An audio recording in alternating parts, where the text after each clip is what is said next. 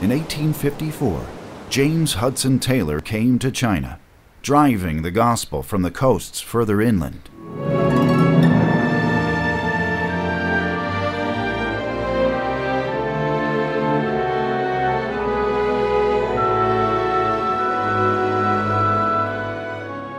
At the age of 17, Taylor committed himself to becoming a missionary. After four years of medical and physical training, he left his family at 21, embarking on a 156 day voyage before arriving in Shanghai.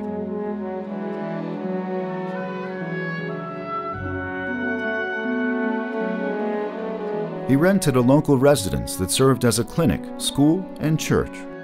Together with other missionaries, he made 18 evangelizing tours in the Jiangsu and Zhejiang provinces, simultaneously providing medical services and preaching.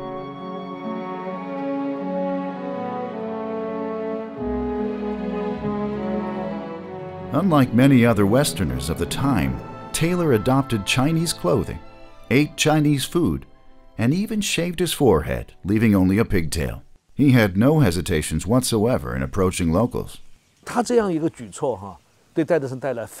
This type of behavior brought Taylor a lot of trouble because at the time these Western missionaries were British. We know that the British were all about gentlemanship. Their culture, their clothing, their appearance, they had a system.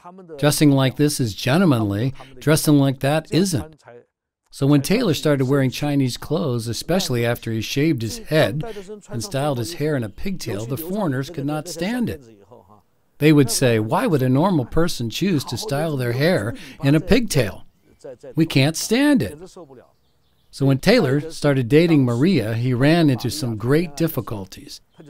Maria's guardian at the time, Aldersey, who was a really great missionary in her own right, was completely against it. So we see Aldersey is clearly a missionary who deeply loved China. She founded a school. She especially focused on education for girls. In China, she had a huge contribution, but she was against Maria and Hudson Taylor being together. She felt Taylor was forgetting his roots. He was forgetting our British dignity, our British pride, these British things. Later, Taylor would establish provisions that all missionaries that were part of the China Inland Mission would have to wear Chinese clothes and style their hair in pigtails. For this reason, some people left the China Inland Mission. Taylor said, It is not their denationalization, but their Christianization that we seek. We wish to see Christian Chinese, true Christians, but withal true Chinese in every sense of the word.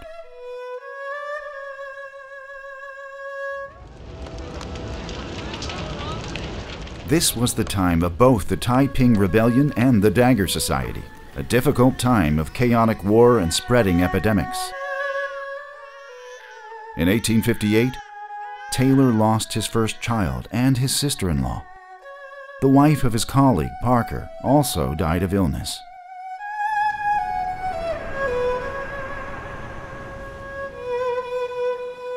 From Morrison to Taylor, out of the 200 some missionaries who came to China, 40 missionaries and 51 wives died of illness.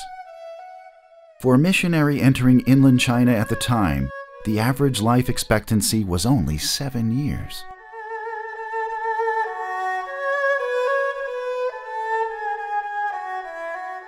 In 1860, Taylor's church in Ningbo had 21 people, but he fell ill, was extremely weak, and had to return to England for treatment.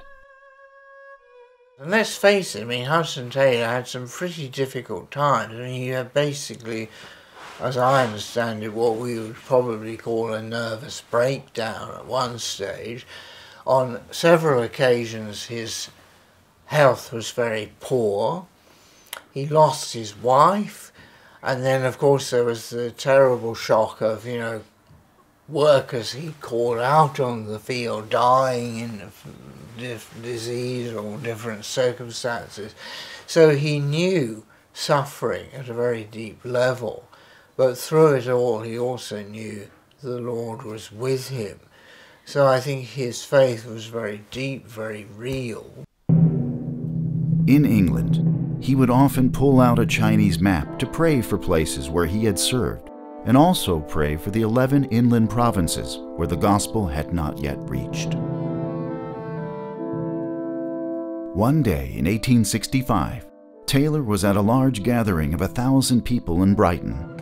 Before his eyes, he saw one joyful British smile after another, while in his heart he was reflecting on one hungering Chinese face after another.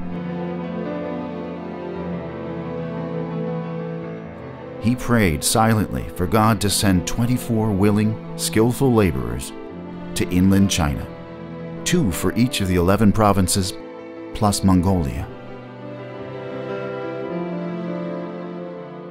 The next day, Taylor opened a bank account for the China Inland Mission in London and deposited 10 pounds.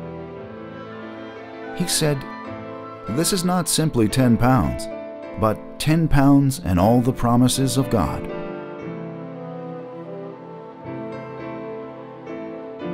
In September 1866, Taylor, along with 16 other missionaries in the China Inland Mission, arrived in China. They established their headquarters in Hangzhou at One New Lane. The following year, Taylor appointed a Chinese pastor, Wang Laijun, to take charge of the church in Hangzhou. Taylor himself led a group of missionaries that set out for the 11 inland provinces.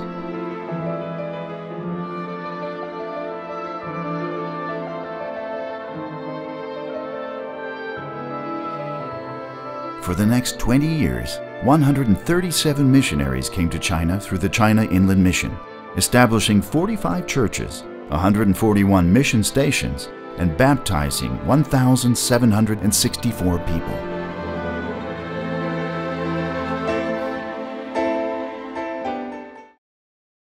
In 1905, Taylor passed away in Changsha.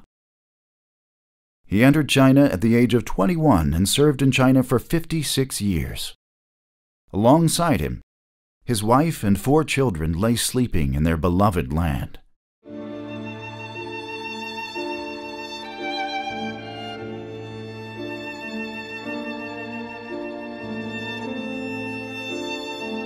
His descendants, generation after generation, through a long chain of life, continue to fulfill one of his promises. If I had a thousand pounds, China should have it. If I had a thousand lives, China should have them. No, not China, but Christ.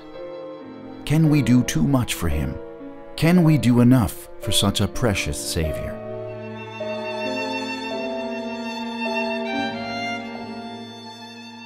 Taylor's autobiography was published by the Beijing People's Daily Press entitled To China with Love.